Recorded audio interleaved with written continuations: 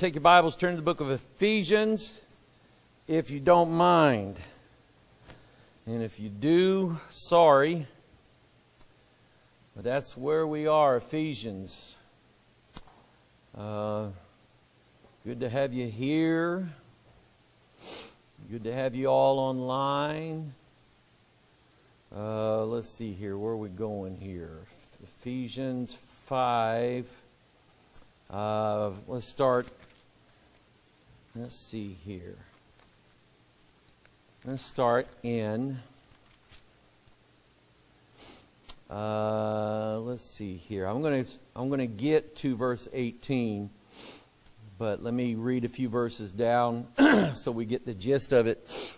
He mentions in um, verse 9 the fruit of the Spirit. He mentions in verse 8 uh, the or and before that, uh, from verse one down to verse eight, fornication, filthiness, all of that stuff. Don't don't be in with people that are doing these things, like whoremongers and unclean persons and things like that. He said in verse 7, Be not ye therefore partakers with them. There is not much said nowadays uh, concerning uh, biblical separation. Um, it does not mean let's all let's all build a commune down in northwest Arkansas and all live down there and we'll all share off each other. Nope. That's not biblical. They say, well, they did it in the book of Acts. They started out doing that in the book of Acts. But they didn't keep doing that. That was not something that was intended to, to stay very long. The hippies tried everything they could to make the commune system work. And once you get used to eating and enjoying what everybody else has, you have very little uh, incentive to go out and bring in some of your own. Why should you? Yeah. Yeah, exactly. It's like the college professor that decided he was going to give everybody the same grade, which would be the highest grade of any test. And so for the first test, everybody got like a 98, 99, something like that. And after a while, the smart kids figured out why should we study for everybody? And the grades started going, it doesn't work. It just, there's no incentive. There's no push. There's no reason for it. So, anyway, God, God, God didn't want that. Uh, but biblical separation is, um, well, let me quote you a verse. Come out from among them and be ye separate, saith the Lord, and touch not the unclean thing, and I will receive you. That's 2 Corinthians 6. And so he tells us to separate ourselves from those things and from those people. Um, and so he tells us, verse 15, See then that you walk circumspectly, not as fools, but as wise. I mentioned this morning at the end of the service uh, that I knew uh, sometime back uh, that the devil would try uh, to get in here and start chipping away at the good things that God was doing. And, um, yep, it sure happens. And so it is all of our responsibility to walk circumspectly, to look around, to make sure uh, that everybody's safe. We're walking in, um, uh, Paul said that in the last days, perilous times shall come. Means very deadly, dangerous. Your life is in peril. So uh, walk that way. Verse 16, redeeming the time because the days are good, right? Nope. Days are evil. The days are evil. Wherefore be ye not unwise, but understanding what the will of the Lord is. Uh, I still like that verse uh, that the brother shared with me yesterday uh, about establishing your works unto the Lord. Do everything as unto the Lord, and He will establish your thoughts. And that verse has just just been pounding on me the last couple days, and and I've it's been in a good way. It's done a lot of good for me.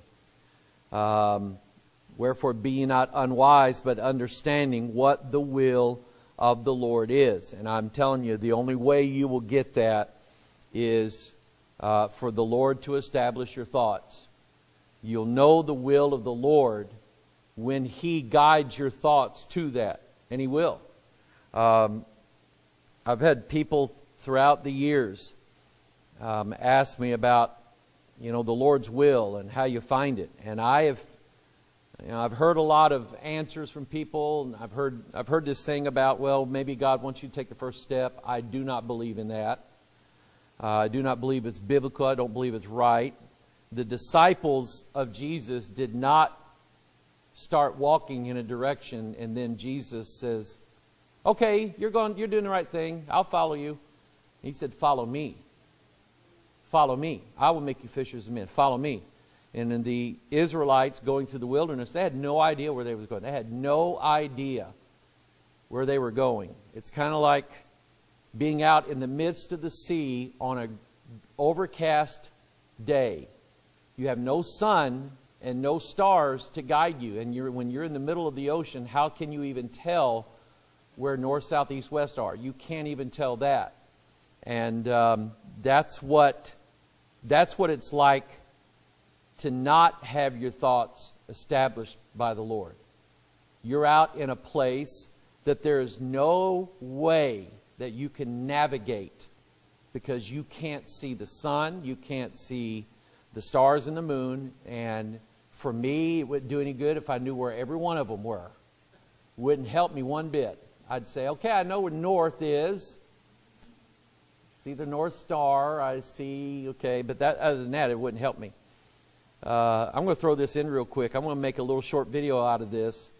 Um, the year Lisa and I took an Alaskan cruise, we went whale watching, and we were in all these little islands and fjords and everything else on the coast of Alaska. It is a it is filled with little islands and little things sticking up, and then you have these whales, and they had a book of whale tales and they had a name for all the whales because they said they come back to the same area every year.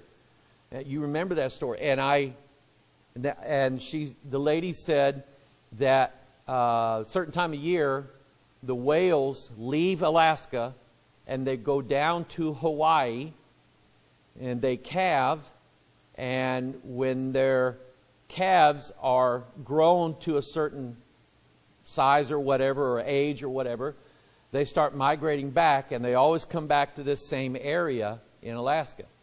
And I am like, I may be the only one gobsmacked by this. Because you're talking about a creature who's navigating underwater. If you think navigating on top of the water is hard, we build multi billion dollar submarines who have to come up every now and then just enough to check their bearings to make sure they're in the right place because they're guessing underwater. They're going by their speed and how far they went, and, and, but they have to come up every now and then, get a radio check and a GPS to make sure their, their maps jive with this. And here, these whales, they know when to leave Alaska. They know how to navigate all the way down to the Hawaiian Islands in the middle of nowhere in the Pacific Ocean give birth down there, and then come back all the way up to the exact same island that they were here last year. And they can tell because of the whale tails, and they're all made differently. And I'm just like, I asked the lady, I said, Does science know how these whales are able to do that? They said, No. They have no idea. I said, I know. We have a God. He's the creator. That's, I said that out loud. I don't know if anybody appreciated it or not, but I said, I believe in a God. Okay? That's not a problem for me. Amen. Now, verse 18. And I think I started on this last week, but we're going to go to um, Isaiah here before too long. Be not drunk with wine, wherein is ex- excess, but be filled with the Spirit. I mentioned to you last week about Kenneth Hagin and these other spiritual drunkards. Uh, they have changed this. They've changed the whole meaning of it. Um, they even they even say that in Acts chapter two, there that the reason why the people uh, there who were watching all of these Christians, all these believers, all these uh, Jews, I guess, who are now speaking in other languages, um, and you know doing all this, and the people around them saying, you know, these these men must be full of new wine. You know, here it is, only the third hour of the day. And Hagin says they must have been doing things that made everybody think that they were drunk because they were drunk. They were acting like drunks. And then he goes into this little thing that he does where he says drunks fall down. He's got people falling all over the place, and drunks reel around, and drunks stagger, and drunks do this, and drunks do that. He's got everybody in the church doing this, and they're all getting drunk in the spirit, acting like drunks, acting like fools, what they're doing. So, anyway, be not drunk with wine wherein is excess, but be filled with the Spirit. Um, let's see here. Turn to Isaiah 28.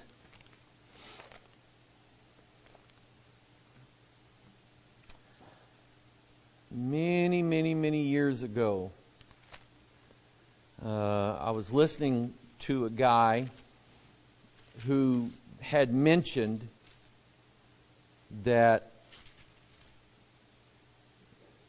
physical drunkenness was a picture of spiritual drunkenness, and uh, wine and strong drink were a picture of false doctrine.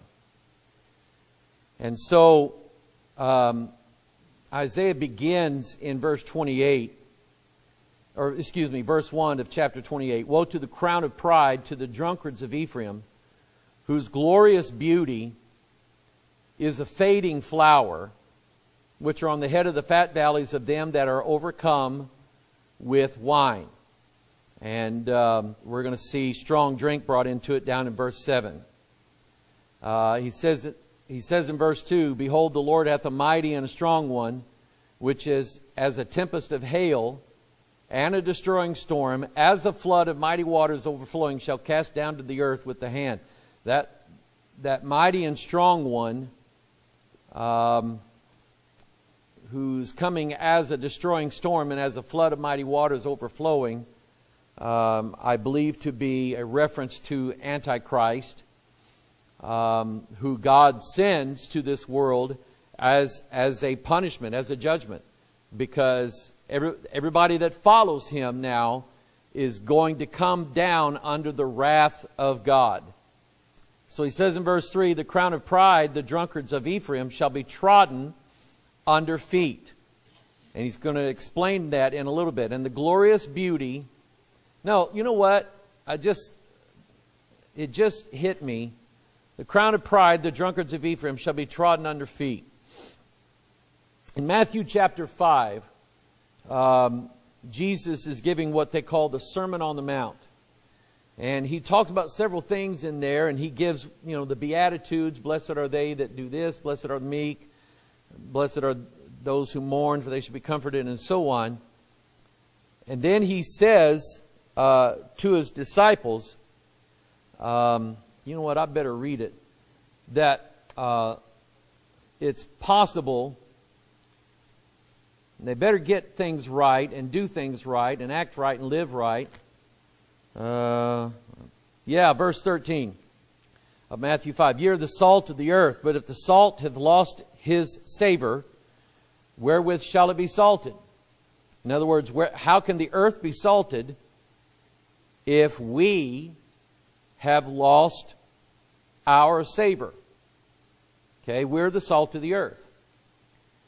And salt is needed by every creature, I guess, that there is, um, including us humans. Uh, we need salt in our diet. We need salt as, as uh, part of our metabolism. But if the salt have lost his savor, wherewith shall it be salted? Notice this it is thenceforth good for what? Nothing. But to be cast out and to be trodden under foot of men. That's what, what I was thinking of when I read that verse back in, in, in Isaiah 28 3. The crown of pride, the drunkards of Ephraim, shall be trodden under feet. And back here, Jesus says, the salt, if it's lost its savor, is good for nothing and to be cast out and to be trodden underfoot of men. One of the things I fear the most, beyond any shadow of a doubt, is the thought of being cast away by God because I'm good for nothing anymore. Uh, that drives me, that compels me. Uh, that's what knocks at my door um, when I'm when I'm low or when I'm not right. Uh, it is the thought of being cast out by God and being called as good for nothing and being trodden under the foot of men. And so, this, I would say the same idea is attached now uh, to this issue of drunkenness.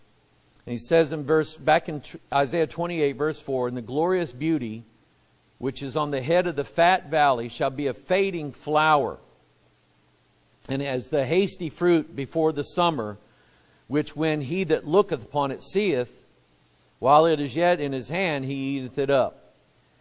And he says in verse 5 In that day shall the Lord of hosts be for a crown of glory, and for a diadem of beauty unto the residue of his people. Now, notice this God is always going to have a, a residue, He's always going to have a group of people that are always going to believe him. Uh, he shows us this um, when God, when Elijah was complaining to God. Uh, it is enough now, Lord, take away my life, for I'm not better than my fathers. Um, Elijah was like he was literally he was in a cave. He was uh, he was down. He was depressed. He had had this great victory over Jezebel and over the, her prophets. And God had sent the fire down from heaven, and you would think that He would take that as a marching banner and just storm, uh, storm the gates and have Ahab run out and say, Let's get us in a king who's going to follow God. You would think that he would be on top of the world. I'm here to tell you, I have seen it, especially in my life, how at times when I feel like I am doing the best that I can, really prospering in the Lord, really putting it out there, man, that God will let the devil come and beat me to death. He'll do it. Why? So I don't get proud. Last thing you want and the last thing you need is a proud pastor up here. It's the last thing in the world you guys need. Uh, I remember one Sunday, man, I preached my guts out. And it was just, boy, I mean, God was everywhere. And I walked down off the stage, I walked to my office, and I mean, the pain that hit me and went through my body. I literally collapsed on my couch and I laid there just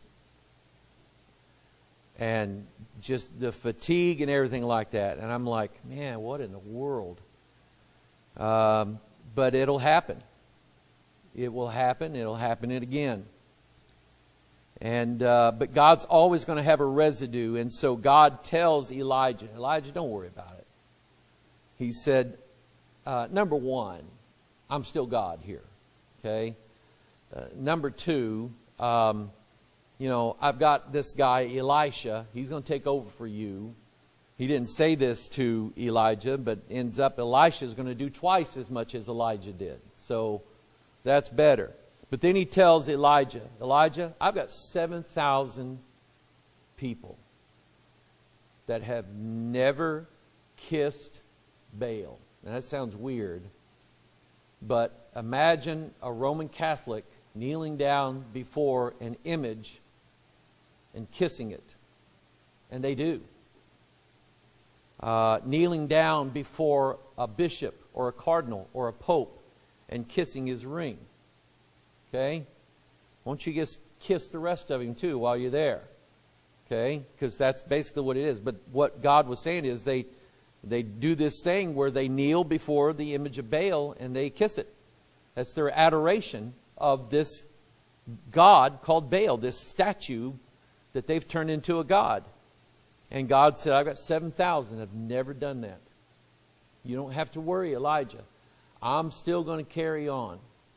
And so Paul said, to this day, there is a, he didn't use the word residue, but there is, I can't, remember the word that he used, but he said, there's a, there's a, a group that I have reserved for these last days. And we know that from Revelation 7 Revelation 14, 12 tribes. He's got 12,000 from each tribe reserved. God's already got them picked out. He knows who they are. And uh, I've heard people say various things like, oh, I'm, I'm one of those people. No, you're not. Wishful thinking. So, anyway, unto the residue of his people. Now, verse 6 And for a spirit of judgment to him that sitteth in judgment, and for strength to them that turn the battle to the gate. Verse 7. Now, here we are. In fact, let's pray. You haven't prayed yet. Father, I ask you to bless your word tonight. Uh, give me help from above, I pray in Jesus' name. Amen. They have also erred through wine, and here it is, through strong drink, are out of the way. So, number one, they've erred. Means their doctrine, and we're not talking about whether Adam had a belly button. Okay? We're not, you know, we're not talking about anything like that. Not these minor, silly issues people argue about. We're talking about serious errors in doctrine. Um, like the, the having images in the church that are in some way going to be adored by the people before everybody gets out of that building. They're going to have some form of adoration, uh, just like in that Lutheran church where that priest walked down the aisle, walked in front of this Jesus statue, and read his prayer to this image. And, and I'm like, there it is right there. Okay? And so that's, that is a serious error that they have made. Uh, others are in thinking that man's scholarship trumps God's Word. Okay? Man's scholarship does not trump God's Word. God's Word is right and true and always is and always will be the only way. Amen? But men who love to put flattering titles in front or behind their name, doctor, PhD, um, MDiv, which Master of Divinity, um, they love huh? Yeah, they love to have those flattering titles. And uh, they like everybody to know that uh, they, have, they have searched and they have found errors in the Bible. And we're going to correct those errors. But in correcting those errors, they make new ones. And they're going to continue to make them. They're in a, they're in a vicious cycle of constantly correcting errors in the text, which forces the Bible companies to correct errors in their translation, which then turns back because the Bible committee is there to look for errors. That's their, that's their purpose, it's their whole existence. Okay? If you lived in northern Siberia, would you buy an air conditioner? Do you need it? No! You'll never need it. Okay? You'll need a big mosquito net, is what you'll need, but you don't need a big air conditioner. Um, and so that's the way it is. If you have a committee whose sole purpose is to examine the manuscripts and look for errors, what are they going to spend their time doing? Examining the manuscripts, looking for errors. Are they going to find any? It's their job. And so every revision time, I think they're working on the 29th revision of the New Testament. Every revision time, they're finding mistakes that they have corrected. So that then you're going to have the 30th revision. It's a, it's a, just a bad cycle. They have erred through they've erred through wine. It's a spirit that's in them. And through strong drink are out of, notice this, that phrase, the way. You know what? I have a I have a hunch on something. How many times is that in the Bible? Seems like I remember. Don't watch me be wrong. The way. No, it doesn't, doesn't add up. 374, I don't know what that is. Anyway, Jesus said, I am the way. Okay? Um, the way of salvation, the way of, of doctrine, the way that Christianity should go in and be in is what he's referring to. They are out of the way. Through strong drink are out of the way. They were drunk and they can't walk a straight line. So they're out of the way. The priest and the prophet have erred through strong drink. They are swallowed up of wine. They are out of the way through strong drink. They err in vision. They stumble in judgment. So, all of these, number one, are symptoms of someone who's been uh, nipping gin all afternoon, uh, or whatever it is they like to drink, and they've been drinking at that, and that's these are symptoms of how you can tell someone's drunk. But he's also saying that these are also symptoms of someone, and he mentioned specifically the religious hierarchy, the priest and the prophet. The men who are supposed to dedicate their lives to God, dedicate their lives to serving God and serving uh, the, the Jewish people, uh, the, the priests who carry out the sacrifices and who are the scribes who make sure that the Word of God is correctly uh, uh preserved, but also the prophets who are supposed to hear from God and convey that message to the people, and especially to the king. But they're out, they're, they err in vision. How many, how many presidents have we had in this country that we can truly say God sent a man of God to that president to correct him so that he leads the country in the right way? How many, how many presidents in the last 40 years would even allow something like that? Republican or Democrat? No way. Okay? Um,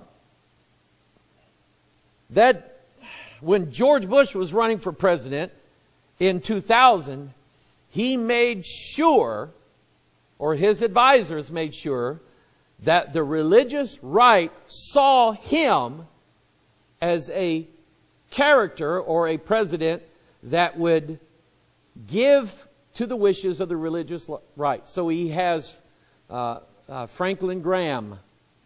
Uh, I don't know. If, I don't remember if Billy Graham was part of that too, but anyway, he made sure that they were seen together talking.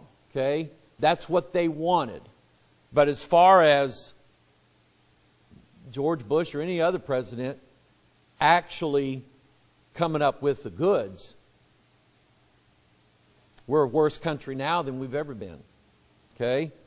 So, anyway, they're supposed to preach, they're supposed to preach right, but they don't, and especially to the people who need it the most. They err in vision, they stumble in judgment. And then, for all tables uh, and one automobile are full of vomit, thanks to Bear the dog. Right, Michaela? You got a lesson on doghood, didn't you?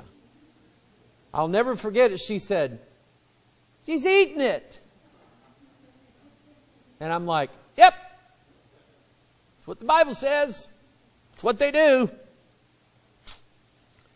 So, anyway, for all tables are full of vomit. Uh, think about this. Think about if we had communion and the guys handed you a cup,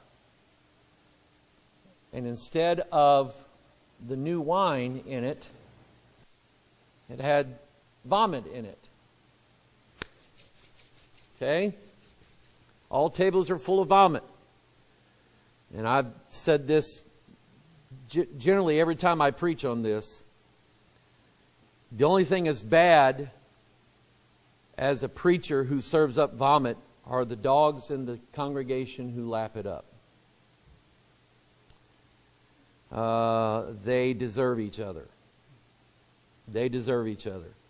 If they're going to allow that man to preach or that woman to preach things that they preach uh, and serve up vomit, then uh, they deserve it. All tables are full of vomit and filthiness, so that there is no place clean. And he means that both in the physical and the spiritual sense. So, God now is asking, he's, he's shown you that there is a problem. He's shown you that there are prophets and priests that are, that are full of a, a spirit uh, of wine and strong drink. Um, there's actually a verse Let's see here in Isaiah. Turn, to, turn over to the next chapter, Isaiah 29, and look in verse 9, if you would. He, he describes basically what they're under. Verse 9, Isaiah 29 Stay yourselves and wonder, cry ye out, and cry, They are drunken, but not with wine. They stagger, but not with strong drink. Verse 10, now he's going to tell what it is. For the Lord hath poured out upon you the spirit of deep sleep, and hath closed your eyes. The prophets and your rulers, the seers, hath he what? Covered. He covered them. God covered them. Why? Because they didn't want to see it. They didn't want to look in the Bible and see. Because most men of the cloth, I don't know why they call us that. He's a man of the cloth. But anyway, most pastors, preachers, whatever,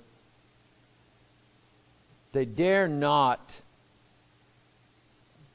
preach on certain sins because they themselves are guilty of them. And so they don't want to see their sins mentioned in scriptures. So God doesn't let them see it. Um, just I don't I don't know I don't have an example right on hand. But do you believe that God has the ability to open eyes and cover them? Sure, He does. He has the ability in each one of us to either let us see what we're doing wrong or not see what we're doing wrong. Uh, to let others see what they're doing wrong or not doing wrong. To let us see things in the scriptures or not see things in the scriptures and make them up. And uh, Then he goes on to explain the vision. But I'm going to go back to verse to chapter 28. Because in verse 9, he, uh, he, he, like I said, he shows you that there's a problem. And now God is asking a question Whom shall he teach knowledge? And whom shall he make, make to understand doctrine? Uh, if you turn over very quickly, hold that place there and turn to Isaiah 53 um, you'll see it again. God is asking a question who. Um, he does it in, in Isaiah 6. It just, uh, whom, shall I, whom shall I send? Okay? And then here in Isaiah 53, he's, he's asking again a question Who hath believed our report? And this is this verse right here, this fact, this passage is what the Apostle Paul referred to as obeying the gospel. He said, For they have not obeyed the gospel. Where it says, Who hath believed our report? Obedience to the gospel is believing it. Do you believe that only Jesus can take away your sins? Do you believe that only Christ can give you righteousness? Do you believe, though, or do you believe, have you added man's doctrine into it that says, uh, but you have to do things as well? You must do this and you must do that. Um, that's not the gospel, not even close to it. Anytime you add a work to the gospel, you don't have a gospel anymore. You got a false one. You have another gospel. Who hath believed our report? And to whom the, the arm of, is the arm of the Lord revealed? And then he goes on to talk about Christ. He is, verse 3, he is despised and rejected of men, a man of sorrows and acquainted with grief. I love that. Love that passage. I love that chapter. Because everything got fulfilled. A thousand years later, right on the cross, all of this took place. I love it. So, back in chapter 28, verse 9, whom shall he teach knowledge, and whom shall he make to understand doctrine? God is looking for people who will believe what he said and believe his word. And then, notice this who teaches the knowledge? In verse 9, God does, not me. Whom shall he teach knowledge? And whom shall he make to understand doctrine? Whom shall he make to understand doctrine? Is doctrine important? I can probably take you out tonight and drop you off at about five churches that you'll probably hear, man, we're not hung up on doctrine, we're hung up on Jesus.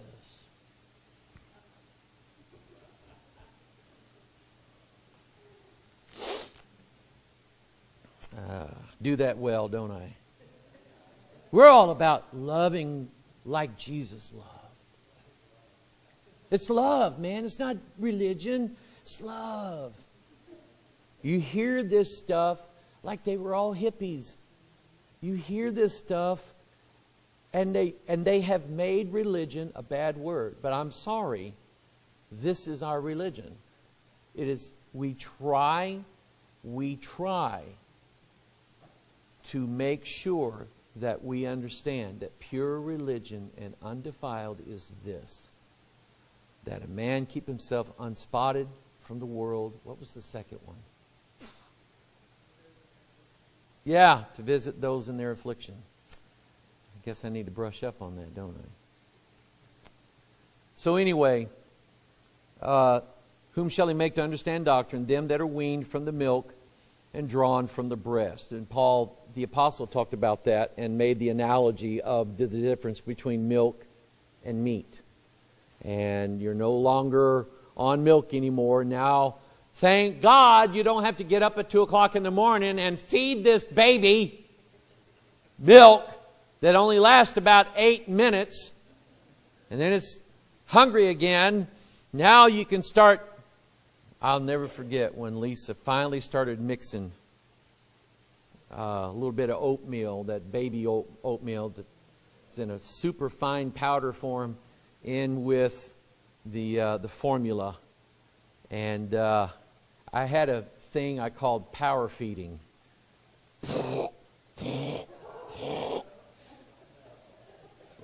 I didn't want to be up at three o'clock either.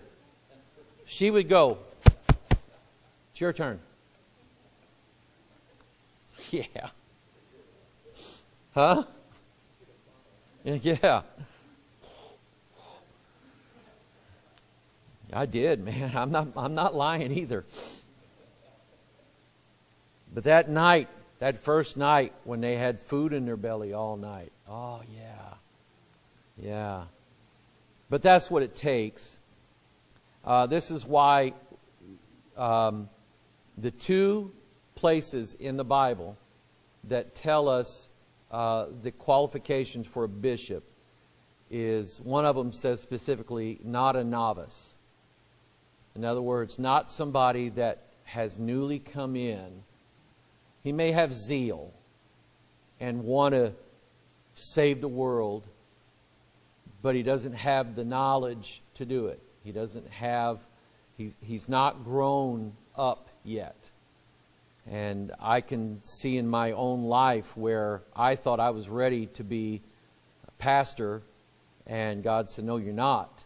You're not even close. You don't know how to, you don't know how to run a family. Um, so, how can you handle the house of God? And so, I'm going to make you go out and work with your hands and sweat and come home exhausted. And after you've learned how to earn a paycheck for your family, then we'll talk. And God did the talking. But anyway, verse 10 is a mystery to some people, but I get it, you get it. For precept must be upon precept, precept upon precept, line upon line, line upon line, here a little and there a little. And here a little here, here a little here. And that's what anybody who says that when they got saved, or, or maybe they come to a place in their life where they just decided to get serious with God, they just started reading the Bible. And they will tell you, all of a sudden, they started seeing where in the Old Testament he, they would read something and then they would remember something they, re- they read in the New Testament. And they're like, whoa, are these things linked together? And yeah, okay, they are linked. And you know what? I, I, I went through, it just occurred to me, I went through three years of Bible college. Maybe they were holding this out on the fourth one. I don't know.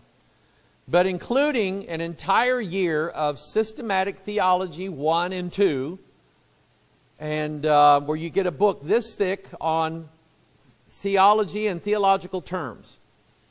And um, I don't ever, ever remember any of my professors pointing out Isaiah 28, 10, and 11.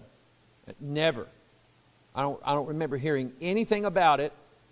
Nothing about here a little, there a little.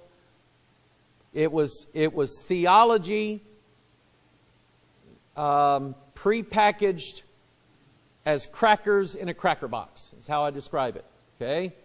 And we've got it all packaged up for you. This is this is what God is, this is what Christianity is.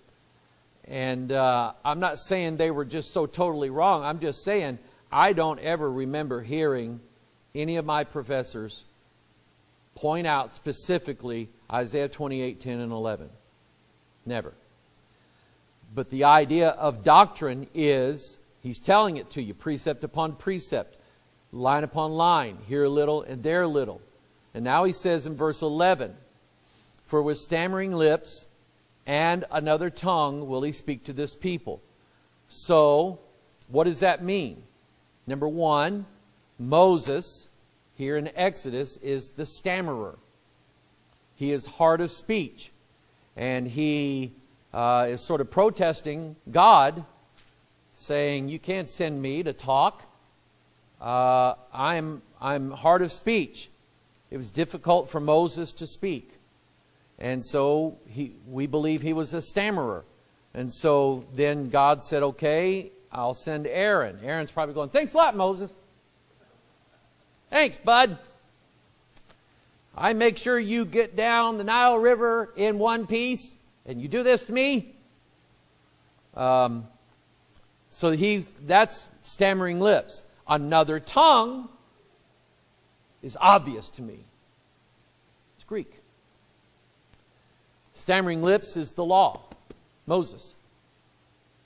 And to me, it just makes sense that God would give a man who had difficulty in people understanding what he said to a people who were never meant to understand what God said. the Jews, okay, or those Jews, I'll say it that way.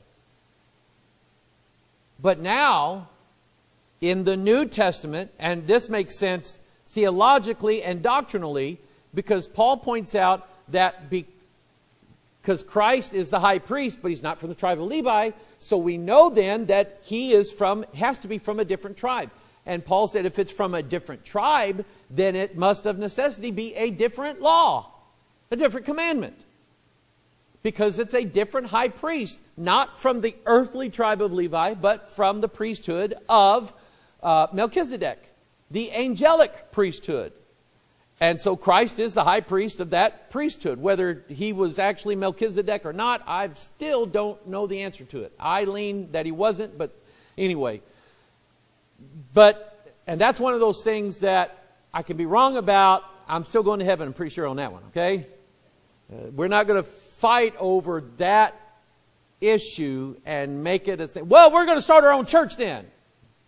It's not a big deal. But anyway, so with a new commandment and a new lawgiver, you have a new language. It's not Hebrew and uh, Aramaic. It's not just to the Jews. Greek was the world language because of Alexander the Great, because of his conquering. And so now you got people all over the known world speaking Greek, and the whole New Testament, all 27 books, written in Koine Greek. And that way, everybody, Jew and Gentile, can get in on it. All the Jews know Greek. Paul knew Greek. Um, and all the Gentiles, they, they knew Greek because of Alexander the Great. And so you have this world language that people all over the world speak. Sound familiar? English. At the pinnacle of, you have 1611 King James Bible, and then around that time you have British ships going all over the world, spreading their empire. The sun doesn't set on the British Empire was the theme. And bringing English to vast parts of the world. So now they can read the Bible. Um, but anyway, but he, he wrote it in Greek. Now, when Paul quoted this verse, turn to uh, 1 Corinthians 14. I want to show you something odd when Paul quoted this verse, I'm not going to say he didn't get it right. I'm going to say he quoted it different. He didn't quote it the way it is in Isaiah 28. In, Isaiah, in 1 Corinthians 14, um, uh, let's see here.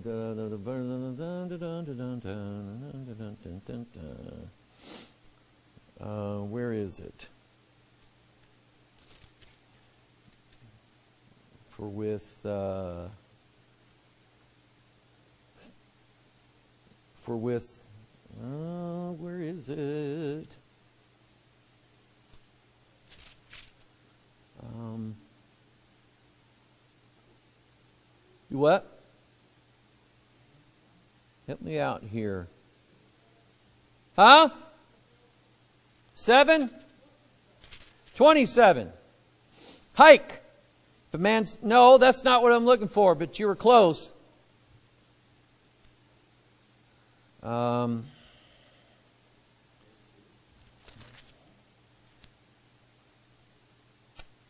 no. That prophesied to edify the church. I want to say, with men, he quotes it as, with men of other tongues and other lips will I speak to this people. Find that verse. With men of other tongues and other lips is how he quoted it. Uh, huh? 21. Hike. Try that one. In the law is written. There it is. With men of other tongues and other lips will I speak unto this people. And yet for all that they will not hear me, saith the Lord.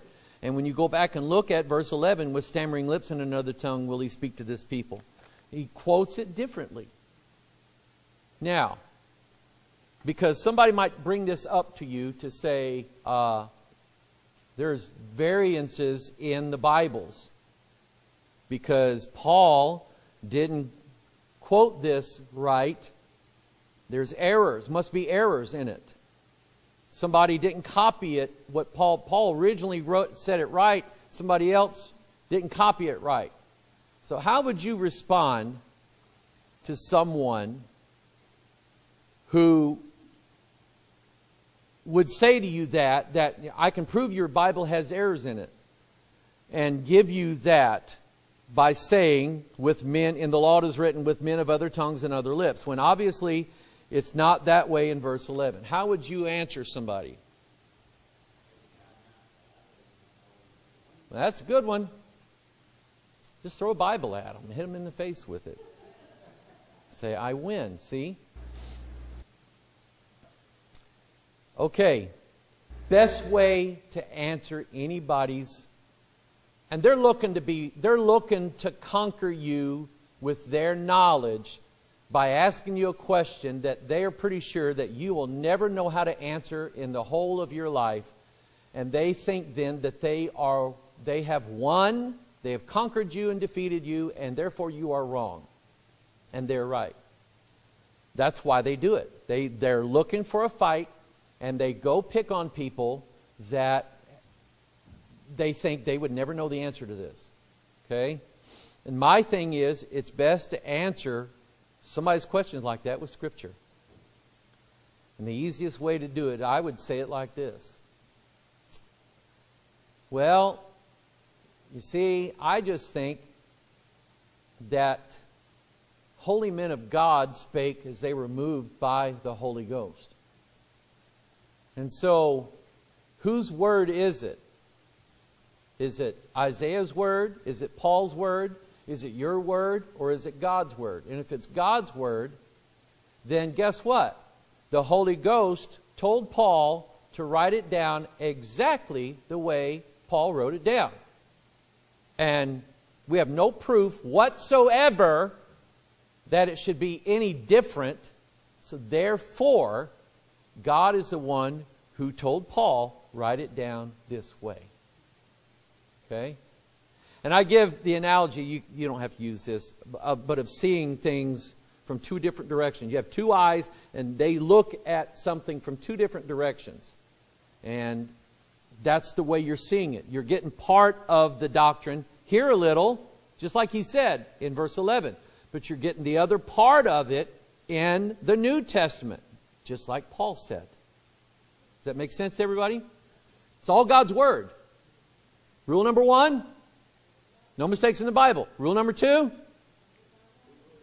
if somebody said, hey, there's a mistake in the Bible, rule number one no mistakes in the Bible. Let's stand to our feet. Somebody text me. They probably found the verse now, and it's 20 minutes later.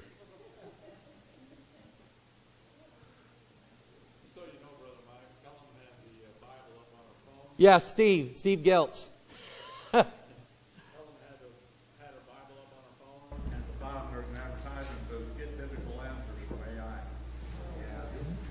It is. It is. Jerry, you're right.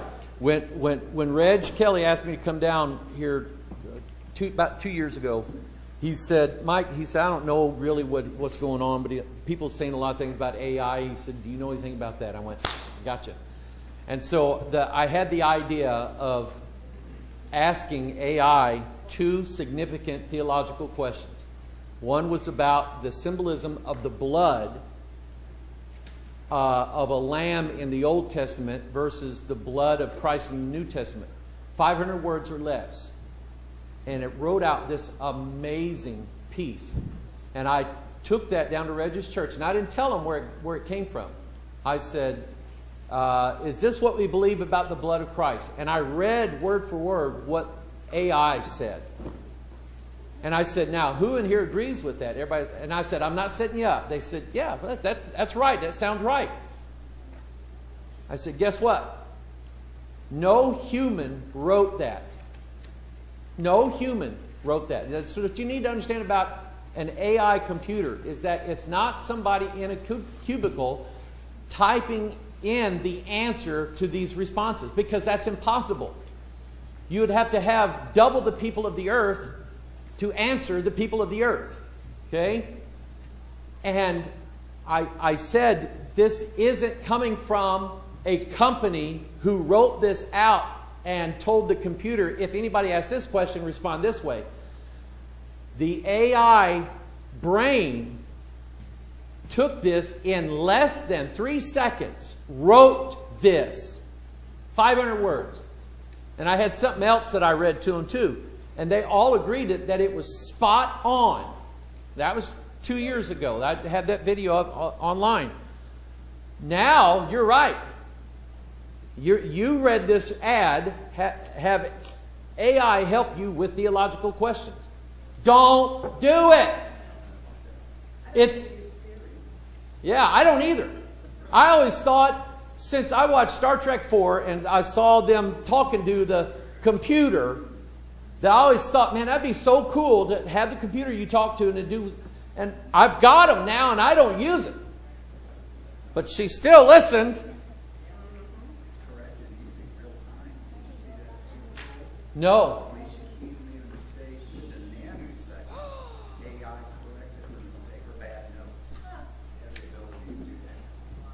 Well, I want that. Never mind. it is. Um, go on, go online and type in AI video uh, Japan something. I don't know. I haven't, I haven't looked at the whole video. I just watched this interview with Ray Kurzweil, and they were showing uh, this video that AI come up with, and I'm telling you, it was you could not tell the difference that it was an AI generated scene from a, from a Japanese street with snow coming down and these and they described these petals from these trees in Japan, you know, that drop down. And, and AI made like a 30 second film of that. And it, and it caused Tyler Perry to say, hold on, I'm going to I'm going to quit putting all my money into this big, massive studio for us to hire actors and, and, and people and invested in AI because it can make a better movie than what we're making now for, for less money. A lot less money if it's free. Oh, God brought us up in this world to, to be part of this world in this time. He had a reason for it. Amen. Father, we love you. We thank you, God, uh, for the lesson tonight. Father, I pray, dear God, that all of us would be serious about our study, uh, about the things that we believe, the things that we hold to, Father. Let us never stray from them. Let us never walk to the left or to the right, but straight down the line. Lord, just bless us and keep us, Father, as your own. We pray in Jesus' name. And amen. God bless you tonight.